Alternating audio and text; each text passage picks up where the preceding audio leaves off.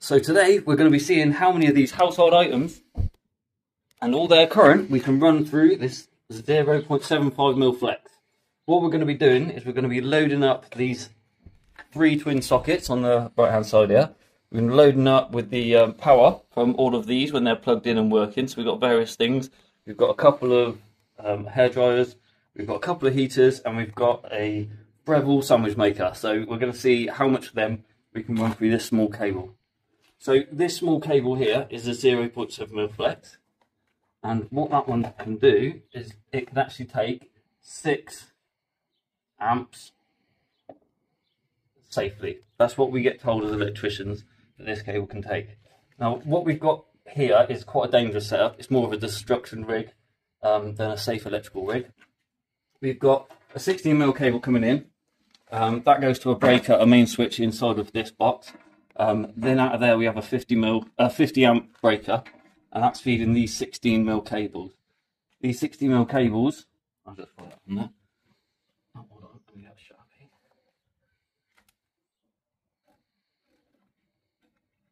We'll get that a little bit brighter another time. They're 16 mil, each one of those, and that's about a 10 mil earth. Well, it is a 10 mil earth. So what we're doing is we're running the 16 mil um, live cable through a thing called a CT. Now what this does is it gives us this little panel up here, and that will tell us exactly how many volts are coming into the system, which is currently 244. It'll tell us the amperage that we're running through the cable, um, and it will also tell us another couple of things like the frequency and the power factor corrector, which is on the right. Um, what this will entail is as the electricity runs through this cable, this will um, pick up the magnetic field coming off the cable and it will give us a reading on there as to exactly how much load we've got going through this tiny cable. Um, what we have just here is two Henley blocks. These Henley blocks can take 100 amps. Um, the reason they're called Henley blocks is because a guy called William Thomas Henley um, from about the 1800s had a company that produced these, and just by default, that's what they're called now. Um, so over to this side, um, what we've got here is we've got a 50 amp connector block um, with three 4 mil cables coming off of it. They feed these three twin sockets. Now with each one of these twin sockets, we can have 13 amps. Okay, so and 13 amps that side. So that gives us a total of 26 amps in total. Now, obviously, that's times three, so that gives us 78 amps that we can put through this little power bank just here. Now, I won't bore you too much more on that. Um, what we're going to do is we're literally going to start plugging the different items in. Um, we've got a thermal imaging camera just here, and then this will tell us the heat buildup in this cable. Now, with PVC cable, um, the cable can take about 150 degrees centigrade before it starts to melt or softens. So what we need to do is we need the, the temperature in these cables get to above 150 degrees, which either over time with this smaller current or if we had a higher load, um, would either do it instantaneously or build up over time. Um, you can see from this image just here, the cables are completely cold at the moment. That's why they're not registering um, on the thermal imaging. I'll put my hand in front so you can see the temperature. But they're not actually reading at the moment because there's no current going through, therefore no temperature build up in this small cable. Um, right, we'll come back to that one. Right, so what we're going to start with um, first, we're going to start with this flow heater, this fan heater. Now this is rated at 2000 watts. Um, so if we go back to the board and work out.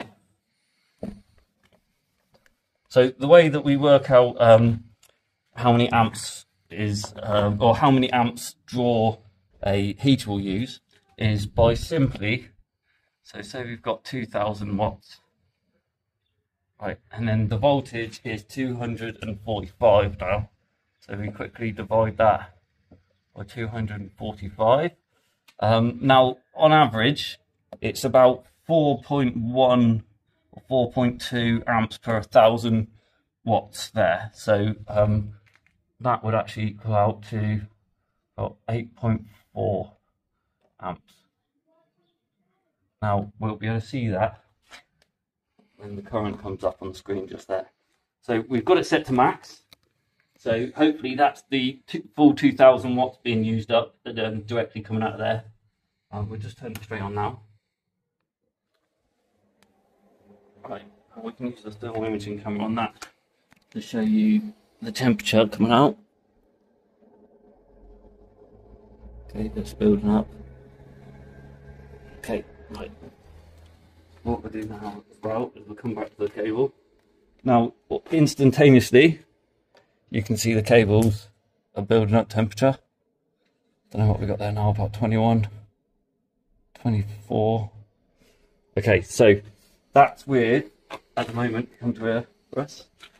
At the moment, we're running at 8.4, which if you look at the board, 2000 watts divided by 245 would equal 8.4 amps. So that works out exactly as what it's saying on screen. Obviously, it's changed now a little bit, but that's because sometimes the voltage fluctuates. You see, it's 244 now. So this will happen in all electrical setups. Is you'll have a slight fluctuation in the voltage. You very rarely have a fluctuation in the um, hertz coming in or the frequency. So it's pretty much standard 50 hertz in every electrical setup. So again, if we come back here, you see now that it's only 22 degrees with the cable, so there's not much. So realistically, this cable here, as you can see, is pretty much the same size as the cable coming off of the, um, the actual heater itself. That's because this cable is pretty much capable. I think this cable can take, well, as we said earlier on, it can take six. So it can take six amps, this cable, but at the moment, we know that it's taking 8.4. So obviously safely, we're told it can take six, but it's already taken 8.4. Um, what we'll do now, it's going to get a little bit noisy, um, is we'll plug in a hairdryer to start with. So if we come over here, back over to the screen, see it's 8.4 now. As I turn the fan on, or that hairdryer on, sorry, we've got switched on the fan Oh, that's the heat set. Right, as soon as we turn that, sorry, you can hear that now. Um, at the moment, it's, it's gone up to 9.7 because I've just got the fan on, no heating on the hairdryer. I'll do it a little bit more. Okay, we can see it's gone up to 10 now. So now we've got 10 amps going through the cable. Let me turn the heating on. Right, so now we're up to 16.4, 16.39 amps. So if we go back to the cable, let me put the head right down. I'll go back to the cable. You'll see that the cable is slowly creeping up. But again, nothing massive. 27, what's the neutral set? Again, the hot spot is pretty much like an old it still. 28, 29. So you can see it's building up now. So we're only at 20, 20, 29 degrees at the moment. The cable is starting to physically feel a little bit warm, but nothing shocking, nothing that would think you would think that damage was about to be done. Um, as I said earlier on, I think that the cable can take about 150 degrees before the um, the actual PVC starts melting. Um, we're outside with the wind, which obviously doesn't help because it means that the cable is getting naturally cooled by the wind as it comes past. Um, this is actually called Clip Direct, so this is for, for the when you're doing your test sheets and stuff. This is actually classed as the, the best for temperature um, dispersion from the cable.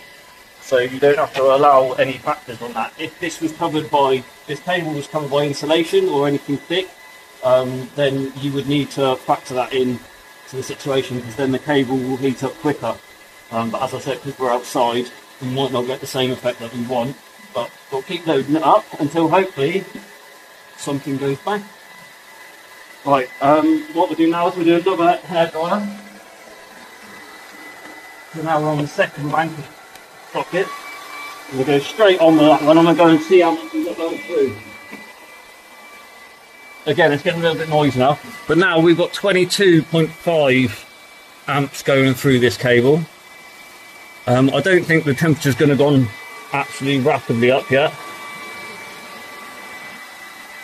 What are we reading now? About 40. 38.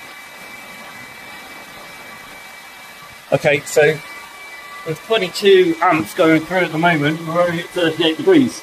So we've still got to get this cable twice as hot. Um, well, three times as hot to, to get it to actually um, fail, really. Um, what we're going to do is, I've only got a couple more items to add, so I wasn't expecting we to run 22 amps through a cable that we're told can only take 6 amps. You know that they can normally take a little bit more than what they're supposed to take, or what we get told to take, but 22.5 amps. Not now. 40 degrees, the, the general cable's heating up now. So again, only about 40 degrees. Doesn't help that we've got the wind. Um, I'll plug a couple more things in. We'll go for the Breville this time.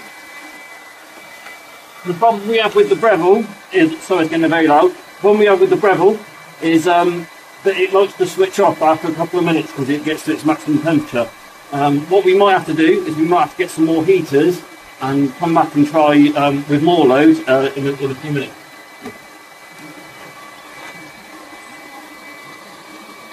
So now let's have a look. Now we've got 25. Is that what we had before?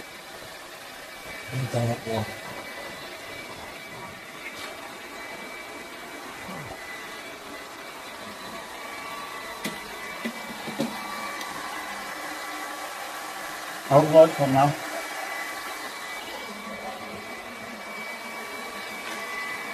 Stay there and I'll switch it off. What's it done down to? 24 point, no, 20, 22.5.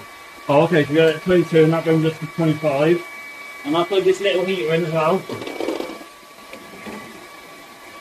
I've actually got to have the button pressed, so let me press the button. What we got now? 26.5, 27.28, going up. 28, right, so let's have a look at temperature of the cable. No, we're only at like 50, 54, oh, 60 now.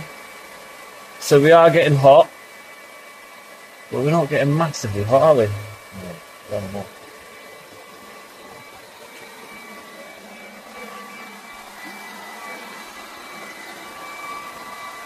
Again, we're only at about 60 degrees. You can see the temperature though. There's not much temperature coming out, and they're only about 26 degrees. The socket's this side, you can see that socket glowing red up. It's 32 degrees. So that, that socket currently is a higher temperature. Oh no, not because we've got this at 62 degrees now. Okay, right, so in conclusion, with all of this stuff on at the moment, which is probably around about 2000. Well, we work out. What do we have? We're at 25, sorry, 20, 25.9 amps. Right, let's turn that off.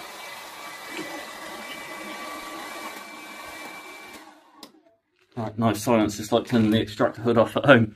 Um, right, so we've got 25.9 amps we had going through that cable, and it's just at the start we only had 6 amps that was potential to go through the cable. But again, that is safely, I must add, and there's always um, a large margin of error in safety numbers. Um, so if we work out 20, 25.9, Oh, I haven't got my phone on because you've got my phone. You're working on my phone. Um, twenty-five point nine. Oh, we'll reverse that back. Eight point four. Oh, that's fine. We'll just do that. Um, so it'll be free. Oh, here we go. Right. So twenty-five point nine.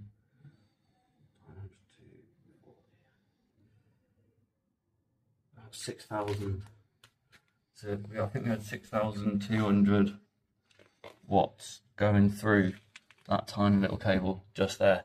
Um, what we're going to have to do is we're going to have to load up. We're going to have to get some more heaters. We're going to have to get some more current um, so that we can put more through. Because as we said before, we had 25.9 going through with our random selection of um, hijacked electrical equipment. Um, but what we can actually load up with maximum is 78 amps. So what we'll do is if we come back um, and we can have 3,000 watts going through each of them, or 2,000 watts at least going through them, um, then hopefully we can get up to 78 amps um, and we can get closer um, to the magic number that's going to pop this.